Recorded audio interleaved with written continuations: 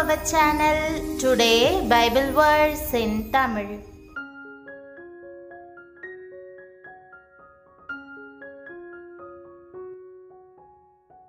இன்றைய வசனம் வெளிப்படுத்துதல் மூன்றாம் அதிகாரம் எட்டாம் வசனம் உன் கிரி கிரியைகளை அறிந்திருக்கிறேன். உனக்கு கொஞ்சம் பலனிருந்தும் நீ என் நாமத்தை மறுதலியாமல் என் வசனத்தை கை கொண்டபடியினாலே இதோ திறந்த வாசலை உனக்கு முன்பாக வைத்திருக்கிறேன். அதை ஒருவனும் பூட்ட மாட்டான் கிறிஸ்துவுக்குள் பிரியமானவர்களே உங்கள் ஆசிர்வாதத்திற்கான வாசல் அடைக்கப்படுகிறது என்று கவலையோடு இருக்கிறீர்களா? ஏனெனில் அது உங்களுடைய எதிர்கால கனவுகளையும் விருப்பங்களையும் நிறைவேற்றுவதை நோக்கி பயணிப்பதை கடினமாக்குகிறது அல்லவா?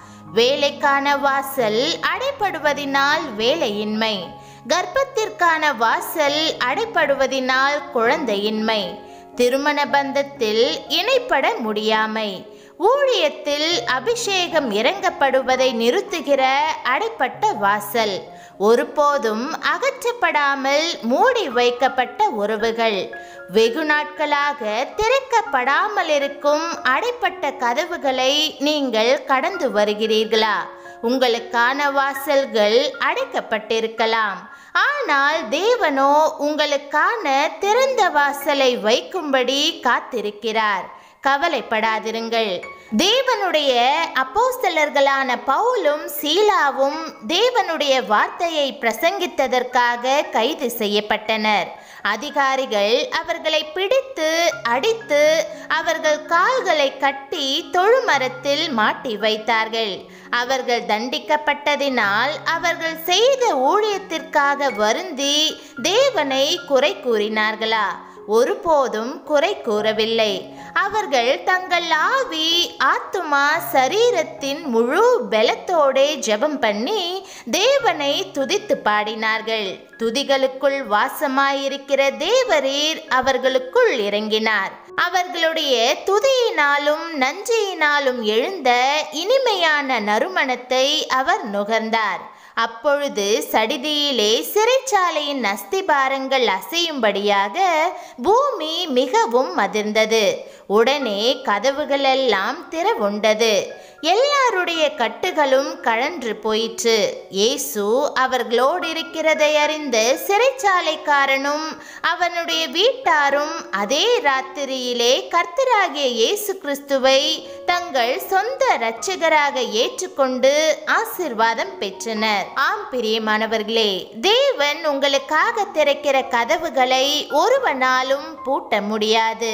பவுலும் சீலாவும் தங்கள் வாசல் அடைக்கப்பட்ட போது எவ்வாறு அந்த காரியத்தை அணுகினார்கள் என்று பார்த்தீர்களா?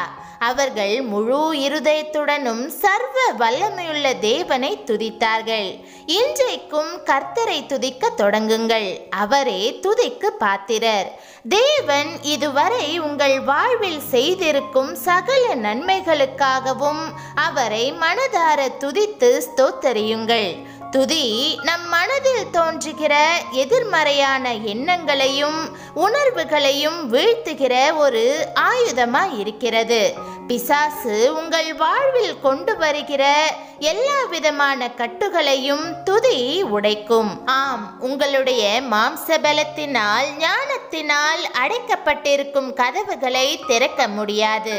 அவருடைய நன்மைகளை விசுவாசித்து தொடர்ந்து ஜெபித்து துதியுங்கள். அப்பொழுது உங்கள் வாழ்வில் அடைக்கப்பட்டிருக்கும் கதவுகள் அனைத்தும் தானாகவே திறக்கும்.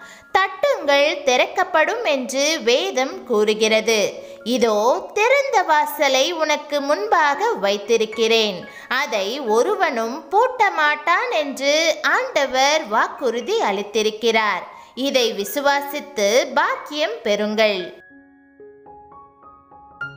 ஜெபம் அன்பின் தகப்பனே கடந்த வருடங்களிலெல்லாம் நான் என் சுய பலனையும் சுய ஞானத்தையும் நம்பி அடைக்கப்பட்டிருக்கும் வாசலை திறக்க எண்ணினேன். இன்றைக்கு அவை யாவும் வீண் என்பதை அறிந்து உம்முடைய பாதத்தில் என்னை அர்ப்பணிக்கிறேன். உம்முடைய வார்த்தை கூறுகிறபடி உம்மை எப்பொழுதும் துதிக்கிற பாக்கியத்தை எனக்கு அருளும். துதி பாடல்களினாலும் ஆராதனையினாலும் என்னை நிரப்பும்.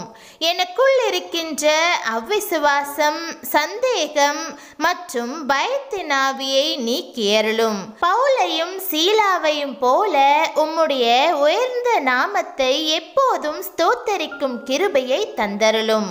துதிகன மகிமை யாவும் உமக்கே செலுத்துகிறேன். உமது நாமம் மாத்திரமே மகிமைப்படட்டும். இயேசுவின் நாமத்தில் ஜெபிக்கிறேன் நல்ல பிதாவே ஆமேன். தேவனுடைய நாமம் மகிமைப்படுவதாக ஆமேன்.